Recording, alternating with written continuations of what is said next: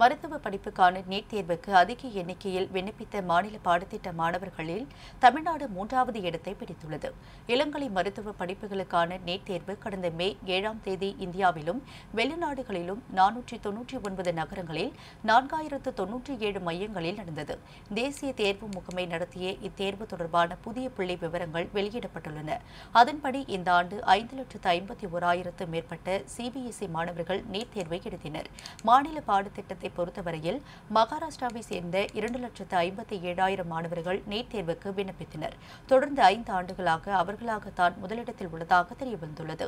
இதனையடுத்து கர்நாடக மாநிலத்தை சேர்ந்த ஒரு லட்சத்து இருபத்தி இரண்டாயிரம் மாணவர்கள் விண்ணப்பித்து இரண்டாம் இடத்தில் உள்ளனர்.